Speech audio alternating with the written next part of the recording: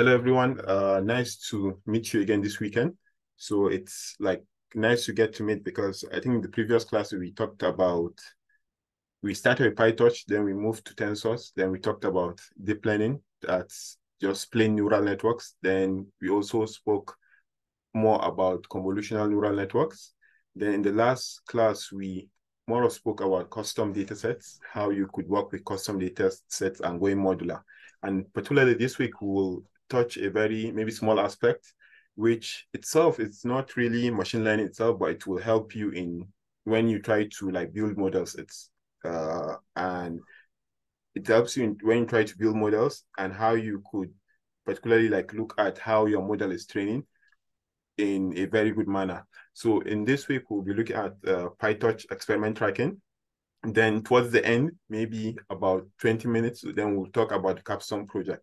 So you have like one capstone project which will encaps encapsulate like everything we've been doing in this uh, particular deep learning class. So just to begin, uh, so we will continue with the main notebook we have been using, just highlight a few parts. But in terms of the coding aspect of it, we won't be using this. We'll use another simpler notebook for that. So, but I will tell you the reason why we'll be doing that. So uh, yes.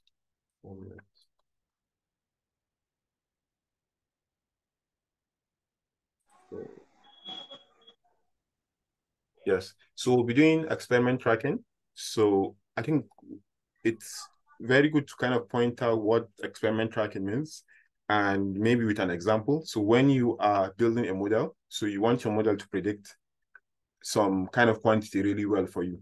How will you make sure it predicts that quantity really well. You monitor the loss or the accuracy or some kind of metrics it your model has. So when you measure that metrics, usually uh, by default you will print it to the screen. That is good, but in the very long run, it won't be like of good advantage to you. Why is that? Because when you print to screen and you make another run, so it generates another different value for you. So, and when it generates another different value, it's likely the case you might forget or displace the previous value.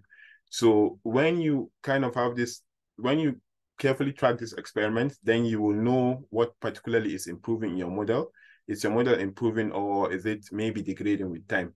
Then you will make the valuable adjustments to this model so that it will be able to uh, improve. So you could, there are several ways you could go about it. You could either let's say you could print on screen, which is like one of the default ways we try to do when we start machine learning, or you could save a CSV file. So when you save a CSV file, it's also good, but it's like local on your laptop. So it also has some kind of uh, disadvantages when you use CSV files, in which you just have plain numbers and it's kind of difficult. You have you have to generate maybe graphs from the CSV, which is additional extra code you need to do.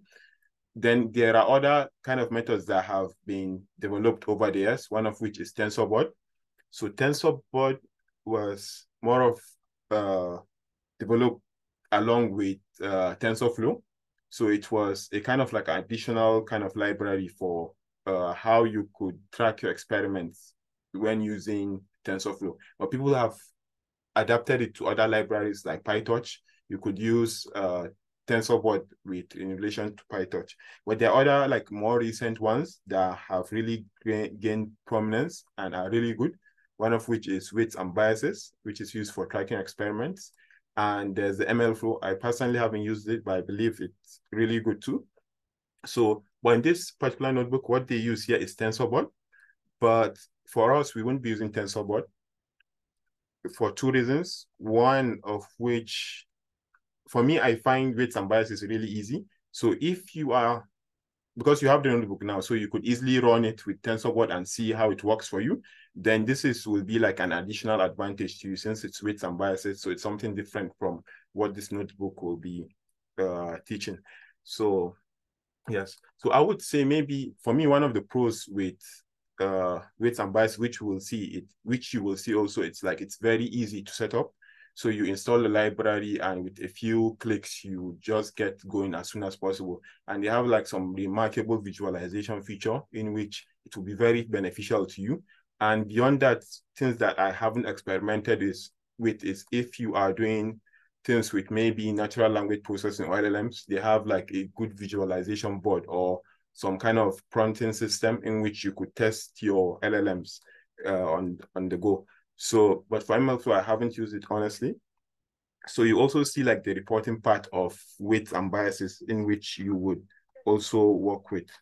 So I think for now, what we'll do is take you, you have this notebook, so you could run it, but this notebook here is more of focus on TensorBoard.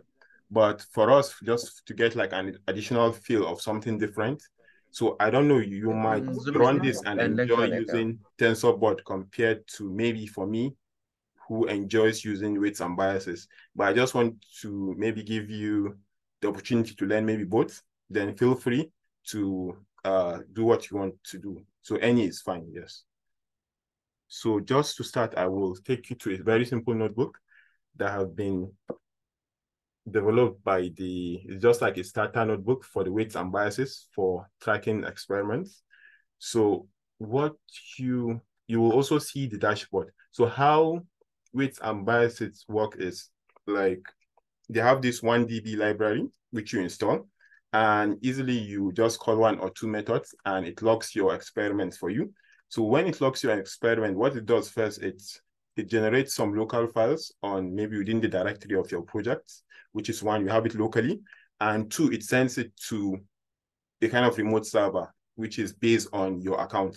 So with that remote server, it's possible for you to share your experiments with anyone. It's also possible for you to do a lot of things. So particularly like sharing experiments, visualization, generating reports, that's for me what interests me with it. So here I will just give you a simple introduction to wandb, and that's majorly what you need to know. Any additional thing is just more of like uh, just some additional things you add on it. But when you know these basics, you get it's easy for you to get started wandb. So one of the first things you want to do is to just install the library here and just with a pip install. So you import, then you log in here. So the essence of you logging in here, oops, yes. So the essence of you logging in here, as you said, as like I said initially, it has like a remote server in which it sends your experiment to but that remote server is like kind of under your account. So you have access to that. If you want, you can make it public. If you want, you could make it private. So either way, anything that works for you. So in here, you need to log in. So in the very first start, let's say you have not initialized anything or have not run any experiments. So it will either take you to the page to log in, or it will act, or you could provide like the API key in this particular uh, in this particular kind of method and you would directly log in with the API key. So any works. So let's say you are logged in now, like as I am now. So what so what you could do is consider like an experiment setting in which you want to run an experiment. So imagine in this case, what you are doing is similar to how you would train a neural network, but here it is just generating a bunch of random numbers. And so think of, so maybe I'll just explain segment by segment. So, you know, when you are running an experiment or training model, you maybe want to run it multiple times because we deal with a number of random numbers. Then because of those random numbers, you want to run the experiment maybe five times, then take the average. So running those experiments five times in weights and biases, you call them as runs. So for each run, that's maybe each training of your model. So you call them at, as runs. So what you, so here what they are doing is just like categorizing or like defining like how many times you want your model to run. So, and what next? So the first thing, initial thing you might need to do when uh, when setting up your wandb is this initialization. So what you want to tell your wandb is I want to kickstart my experiment tracking with this particular, uh, let's say this particular parameters for simplicity. So what's those parameters? You have, initially you have what we call here project name. So this is, the idea of project name is just like, what's the name of your project? I'm doing deep learning for animal classification. So it's a name of project. So maybe all the runs I do will be under deep learning, under the name deep learning for animal classification. So here we see the name here is basic introduction. So you will later see in the visualization board how everything would add up for you. Then in this particular run, you are making an experiment. So you are telling it like, what is the name? You could also define the name of the your run here, which is experiment. It could be experiment run one, run two, run three. So it could be any name. You could specialize a name for it if you want. But here they're just using like numbers to generate the names. And one other important thing you could do here is you could keep store of your hyperparameters in under config here. So you have this in store for you. So anytime you look at your uh, the metrics, then you know what particular hyperparameters was used to generate this particular metrics, which is really, really cool. So, and if, yes, so you remember, this is like similar to where you have like your, let's say learning rate, you have your architecture here, you have your data set, and you have epoch. So you could, you could have several things. So one good thing I usually see or I usually do like your hyperparameters, you set it at the initial beginning of your notebook. So it's it could be you could do like anything you want. But for me, I usually set my hyperparameters the very beginning of my notebooks.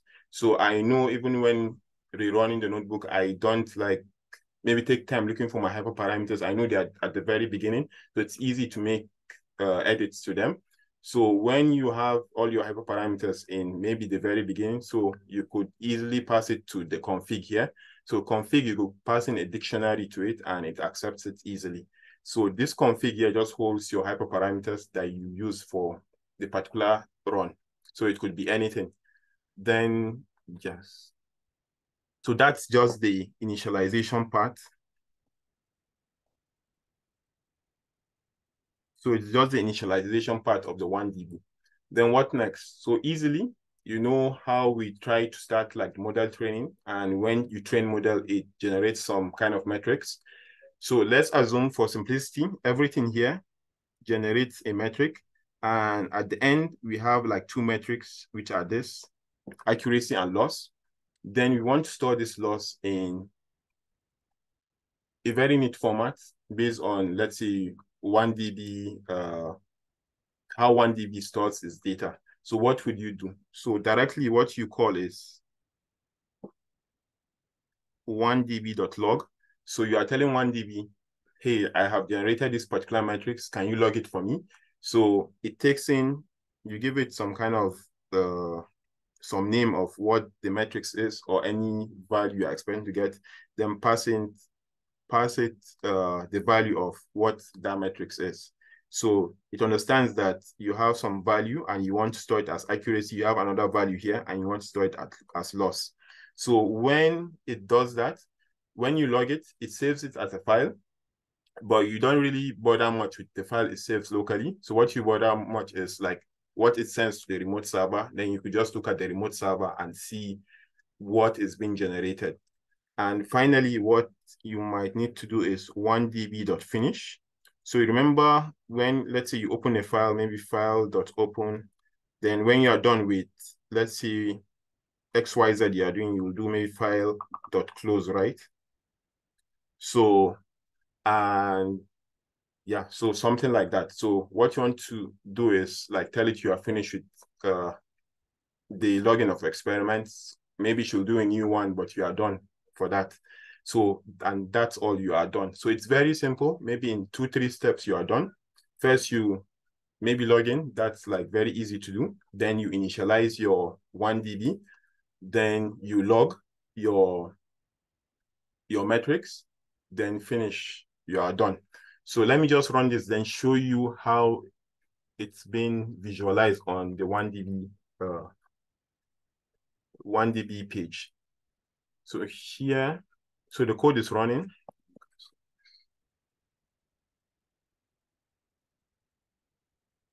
So the code is running and generating some values. And here you see some bit of logs, but you don't really bother about that. So yes. So here you have some links of the experiment. It has run experiment one.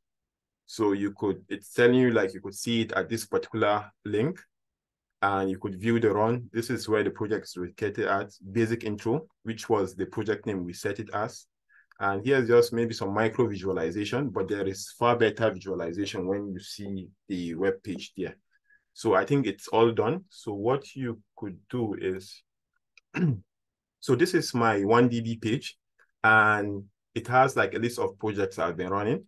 So like I told you, like I enjoy using wandb. It's really good. So I maybe hopefully I'm advertising for them. Maybe you could enjoy it too. So you could see it has generated like we have this new project, which was the project name we set it as. And you could see it had five runs. So which was like the number of times we ran the experiments. You remember here, we set the runs, total runs as five. So maybe let's say you are training a model up to like 10 times then you have maybe 10 or depending on the number of runs you have. So then easily you could click on the project. You could see all. So on this particular side, you see all the runs you have. Then in this other area of the notebook here, you see some kind of visualization of what uh, of the metrics you have. And easily you could see it has a kind of very rich visualization. So you don't need to bother much. Like, let's say, assuming you were doing it initially locally on your laptop and you print some values or generate some figures.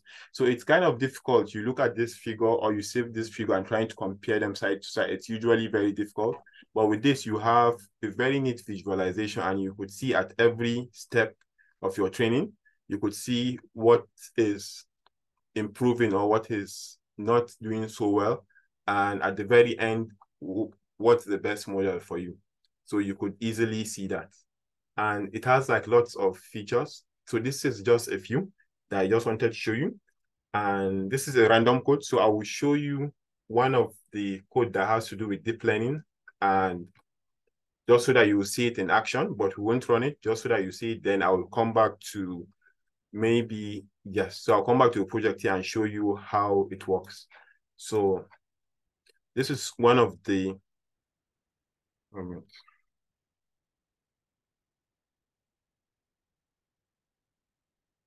so let's see. So let's look at this particular code that has to do like image classification with CIFAR and ResNet. So just to, so here, what you could see here, initially, like I said, you import your wandb then like I said, as much as possible, it's just maybe some advice. Set your hyperparameter initialization at the very first stage. So it's easier for you to know what kind of experiment you are running than maybe spreading it out across your notebook. So it's difficult to track what you are, uh, what type of parameters you are doing. Then you could see here, I'm initializing the project here with the project name with the project name and maybe passing in some configurations and the run name. So depending on how you want to set up your project. Then the more interesting part is where I log the, the metrics I do have.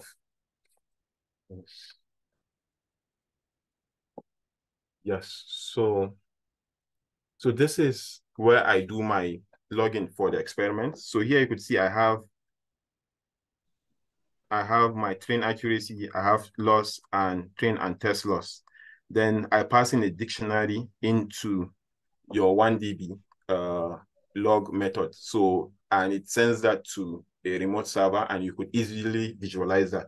So I'll just show you the visualization so that you could have a feel of how it works.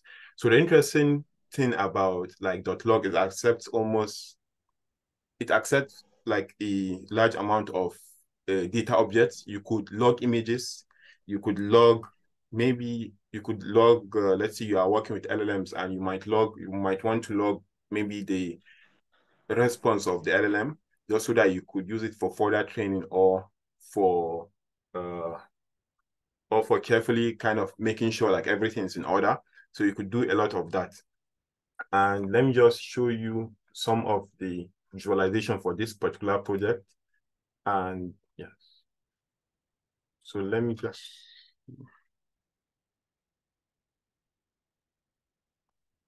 So here I have run a lot of different experiments. You could see one VGG, GoogLeNet, and ResNet. So, and you could see here it's more of like the visualization of what I have run. So you could see it has like some very neat depiction of what's happening in the background. It's similar to like plotting, but here it's very rich. So depending on what you do, then I think one other thing I logged in the other notebook is the confusion matrix. So at every run of the model, I have like the confusion matrix. So it's easy for me, apart from just knowing the accuracy, I also have like some images of the confusion matrix. So at every point in time, when I'm not confident of the result, I could always look at the confusion matrix, which is really good. So you could log anything. Let's say you're doing RL and the RL you are looking at pixels of like the agent environment. So you could also log that. So it's also be helpful in your training. So just to, so one other thing you could do, they have what they call reports. It's very nice for generating really neat reports. You know how you have, let's say Markdown. Maybe I would say it's, yes, let's say you know how you have Markdown, but it makes it really easier when you have logged your metrics, then it could maybe close to automatically generate reports for you. And you could convert those reports to PDF or in very nice LaTeX format, which you could easily use for maybe any presentations or maybe submission, paper submissions. So let me just show you an example of one of the reports I, okay, not this, I have generated.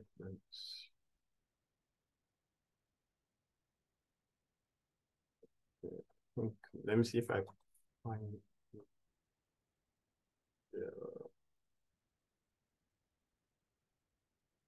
Okay, yes. So let's say I have done some experiments and I have logged them using wandb. So you could easily see this is like a reinforcement learning experiment I ran. And like these are some of the results. So I could share these re reports with you and you could easily look at them and also interact with them.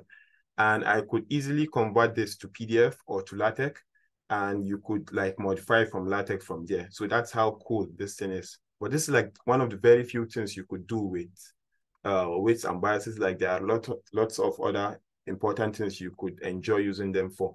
So those are the major things. And like I said, like this part is really short and direct, just to help you like streamline how you would run your experiments like more efficiently. So that's one thing. So I think that's majorly it for this part. And happy to answer maybe any questions that if you have, feel free to drop on the chat. So just one maybe question I want to ask. So what, so here we are talking about experiment tracking. What things do you think when running your machine learning system you might need to track or it's important to track? So you could just maybe, if you want, you could unmute your mic or you could uh, you could say it in the chat. So what important components do you think we could uh, we could track in your machine learning model? I think the accuracy and the loss. Yes, yes, nice, nice. So accuracy and loss are really cool things you could uh you could track very good. And there's also another comment by Lukman. Thank you, Abubakar. Also, loss and accuracy. Wait. Yes, wait. That's also an important part because when so I think one way you could look at it, I would say maybe anything.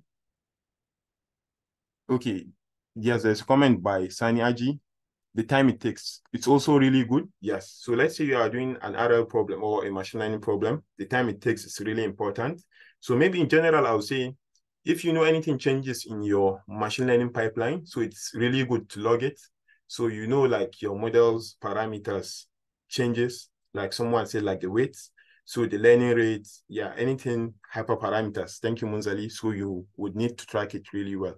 So anything you know that changes in your model, so it would be really nice to track it because you could always like come back to it and see. And I think I particularly like the one weights because weights are very important. So because when you are, let's say, training a neural network and you don't monitor the weights, you only monitor the accuracy. So you there are like underlying things that happen within your model itself that if you don't monitor them, so it becomes a really big issue to some extent. One of which is like where your weights tend to be zero and they are not really having any values. So when you track uh, your weights, so it will be easy for you to look at them.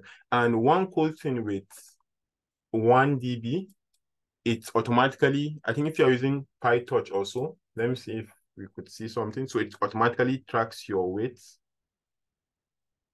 You could see, so yes, so it tracks your, let's see, and let's say another cool thing you could track is like your machine performance. So if you are doing very intensive stuff on CPU or GPU, you could see like how intensive it is, like how much of your CPU or GPU it is consuming. So when you, there's this system section here. Yeah.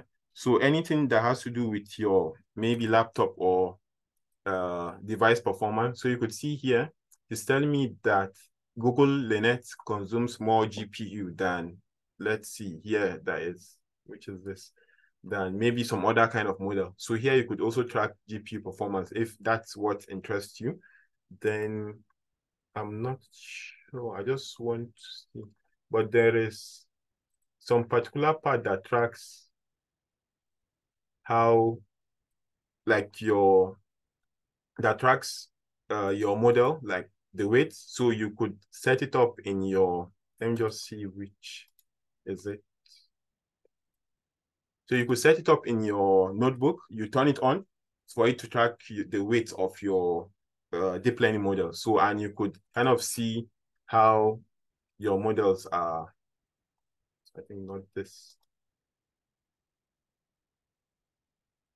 So, but it's really cool.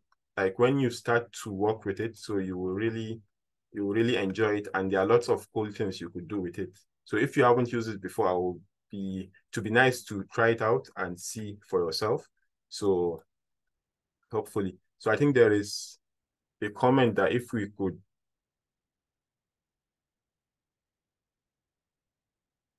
there's comment that if we could briefly recap, yes. So I think with this class, what we said is, let's initially when you try to train your models, so what you do initially is just to print on screen or you save in a file. That's the output of your model, what your model is predicting.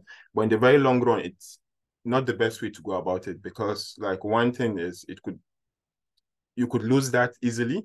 And let's say when you write it, you could be confused and overwhelmed with lots of numbers. Like I said in the previous class, visualization is really key. But like using these tools are a better way of tracking your metrics. Just keeping sure like every experiment you run, it might look a bit, maybe the results are a bit silly in one run, but when you dig deep, you will see that the results are actually interesting. But if you don't track your metrics or maybe anything that relates to your training, so you could easily lose it. But having this experiment tracking within your machine learning pipeline is really key and helpful most times.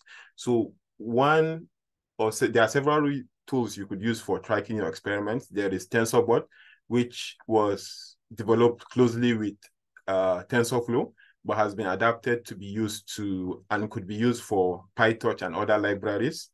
And there is like other like common ones now, like weights and biases, which I just gave like a small visualization of how you could use it.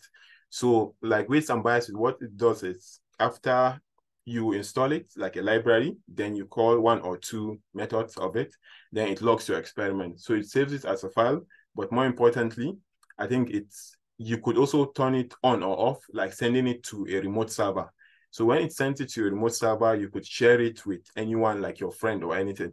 So imagine you, let's say, maybe I don't know you and you told me you achieve 100% accuracy.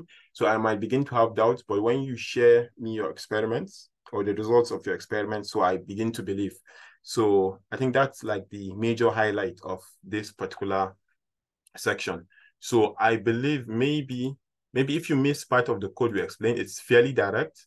So I think one of the first things you do here, you log in to the wandb and it takes you to a page or you provide your API key. So what you do, you initialize here.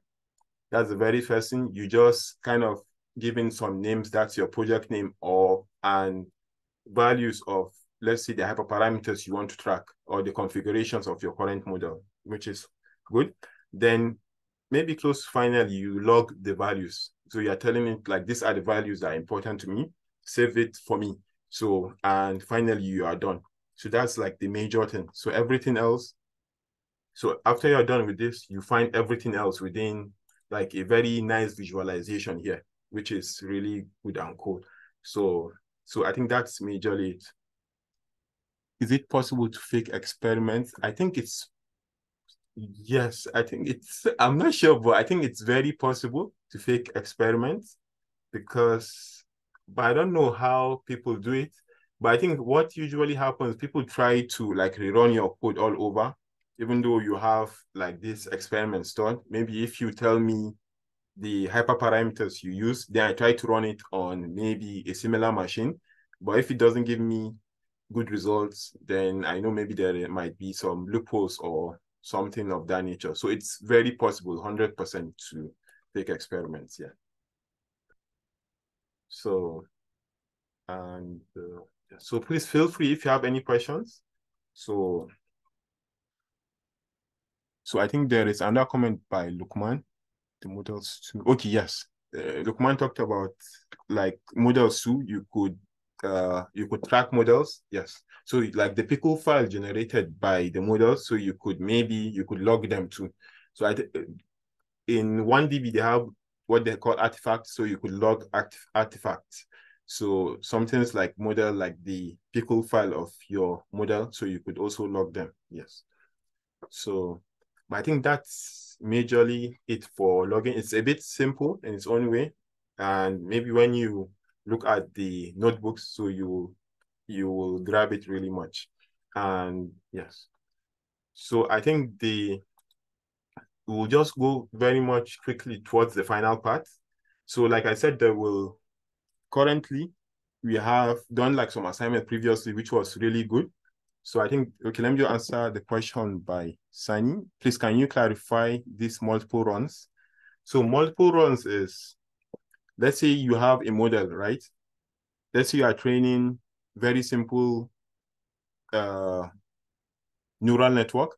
So you could train it once and you get a result, but let's say you would want to train it again because like your weights are random. So you want to try like multiple trainings just to make sure your your predictions are accurate. Let's say I train it like I train one model five times.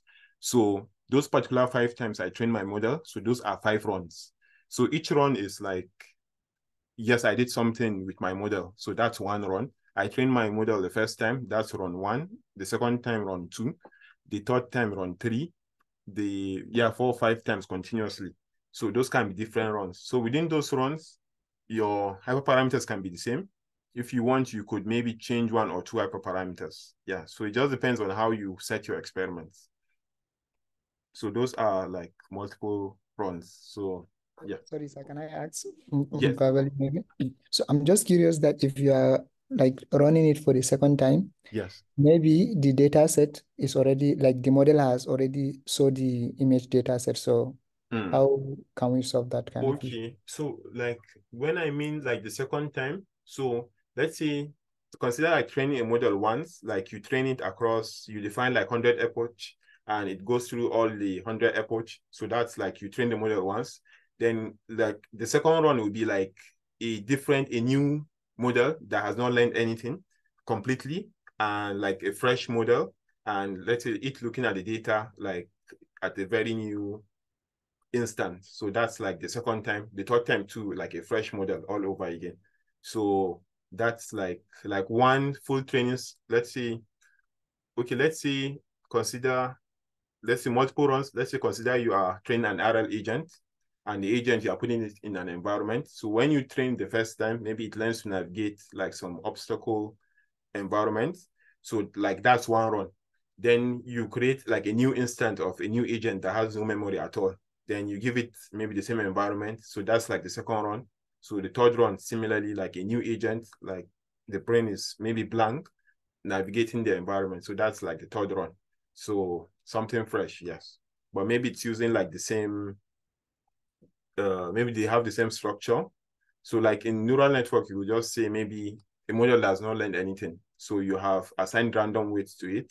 So, and you want to kind of see like from the random weights, will it make some maybe predictions or will it differ from the previous model predictions? Hmm. So, okay, no I say.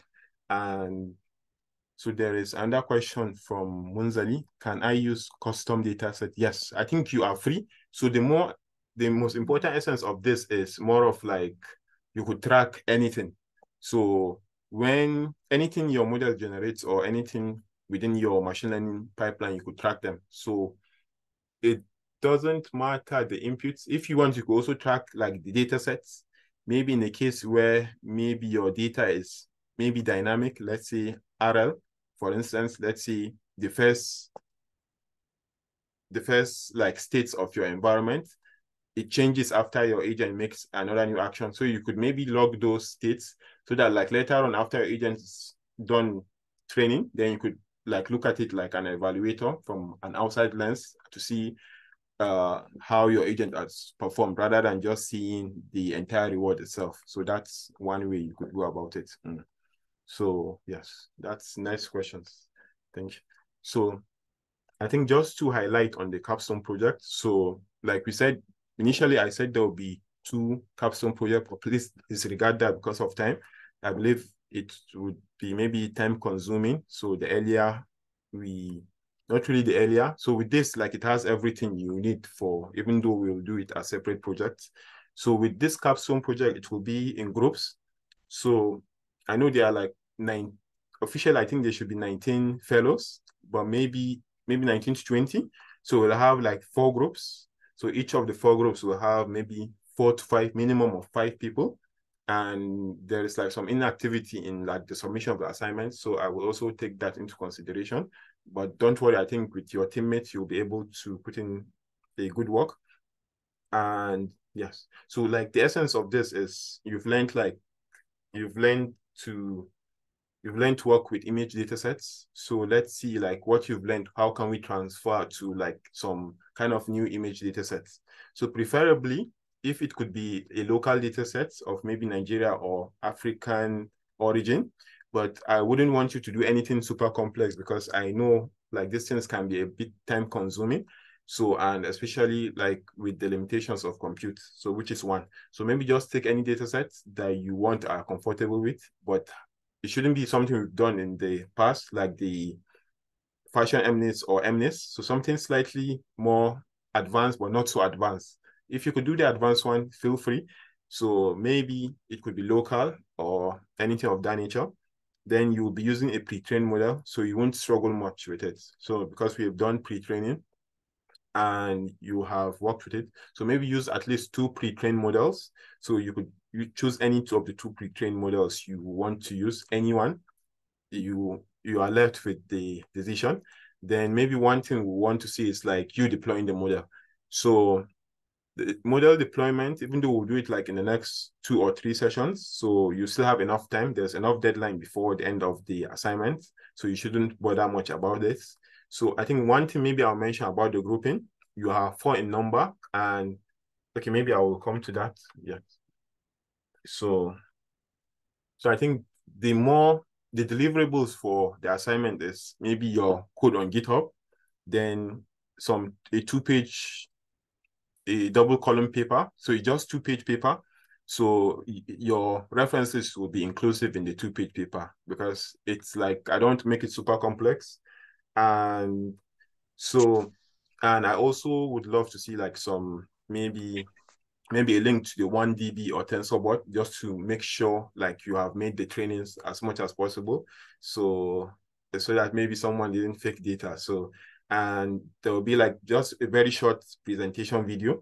So the essence of presentation video is just to maybe a small outline of what you've done, maybe what model you use, maybe talked about briefly about the challenges, then just show me it works with maybe some real data that is outside your data sets. So you have deployed the model. So I believe you have some kind of uh, maybe some simple web page in which you could use like uh, an image, plug in an image, and you influence it with your model.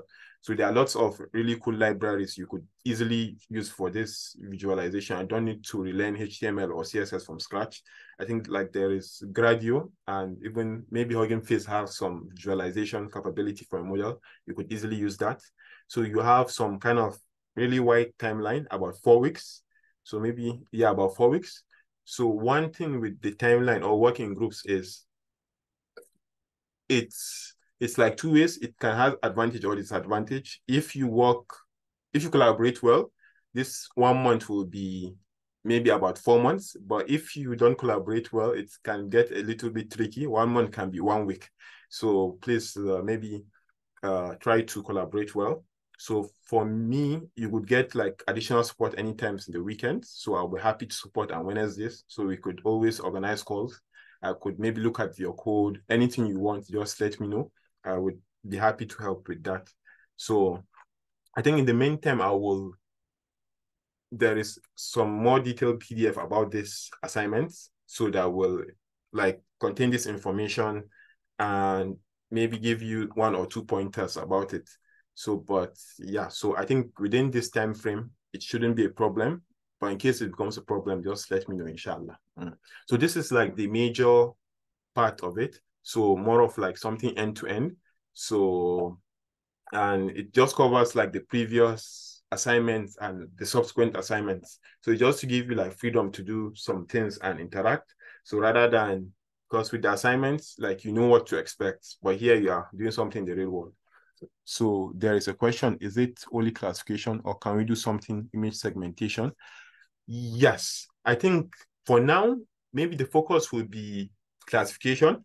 But if you are able to do classification, please feel free to do something beyond that. So yes, because there's enough time. But if you're able to do classification, I think first, if you could get done with classification, and if yes, you could definitely go for segmentation, but please maybe uh, let's start with classification. Then you could go beyond that, inshallah. Yes, but feel free to do as much as possible. So this is just like the maybe just like bare bare bare minimum. So, but please feel free to do beyond that, inshallah. So, but if there's anything that is confusing about this, or anything not clear, or you feel like anything is too much, just let me know, inshallah. And also ask question with uh, I'm very yes. Just let me know, inshallah. So I think uh, apart from this, it will be like the major, apart from this, so yeah, so I'm happy to answer any questions. So if you have any questions, please just let me know. Mm, it could be like this, today's session, the assignment, or any of the previous classes. So like with the PDF I will send, it will have like your team members. So inshallah, you have all the information there and you could try setting up things. So as much as possible, just try to collaborate best in any way you could do. So if you all want to work on, maybe you subdivide the tasks within yourself, just maybe just try to get involved with one another. Then there will be, I would also make like the, is it something like the evaluation criteria so which is based on like your GitHub and the rest. And like similar to like the peer review we did for week three, there will be something similar, but much more simpler, not taxing, in which you will evaluate within your groups how you were able to work together. Mm. But you shouldn't bother, it won't be much of a problem, inshallah. Okay, thank you so much, sir. Um, yeah. My question is that uh, mm. uh, about the individual project assignment that we are going to do. That means uh, we are now focusing only on this, uh, you know, group assignment. Yes, yes, you are focusing on this, but the individual ones, but please look at them because they will help you to do this because like everything about this project relates to like the learning material itself. So because the individual, at least you've gotten like some freedom working alone and getting some solutions. So here is just more of like how you would collaborate with other people because most times you will be working with other people. So it's at least a good way to look at how you would work with other people, share ideas and discuss new things and try. And you would realize like in some of the notebooks that were submitted, maybe there were one or two mistakes, but when you have a number of people, and uh, you would like someone will be able to point out like the mistakes. Yes. So, but like the other submissions, there is no. Uh, if you submit, I would like gladly look at them and review, but there's no like strict requirements. Uh, there's no strict requirements. So there is. Okay, thank question. you so much, sir. Yeah, have a no problem, inshallah. Yeah. So I think there's a question about last week recording. Thank you, Lukman. Yes, it's uploaded today, like some hours ago. Yes. So I have a question. Yes, please. I don't know when the individual projects were given. So are they in the GitHub or somewhere? No, sorry, they are not given yet. Sorry. I think initially I made mistake. I created like two branches, like project one and project two, but I saw like it would be very consuming. Then I just combined everything together to be a group project. So there is no individual submission for projects now. So what you have is like the group projects now, which uh, you will do within your group. So that's the only like capstone project you'll be submitting, inshallah. So maybe I will just take the assignment as your uh as your individual maybe projects. Yes. Okay, thank you. Yeah, no problem. Mm. So I will just try to round up with the PDF and send it to you maybe this night, as tomorrow morning. So, but if there's anything, just feel free, message me. If you have any challenges, if it's your code or maybe something you're having challenges with, then maybe we'll look at it together, inshallah. So I think if there's any questions, happy to answer it before we uh, close, inshallah. Mm. But we'll still be meeting for all the next sessions. That's the next one is the next one is what's the name? something to do with the implementation of research. So hopefully, I want to speak to someone if they're available to give the talk uh, next week. Then maybe we'll continue. But all the other sessions, we'll still be having them while you continue with the assessments, inshallah. So I'll just wait one minute if there are any questions. Thank you, Galuko. so uh, so I think we'll just call it a day. Uh, really nice speaking to you. Have a wonderful week ahead, inshallah. Thank you so much.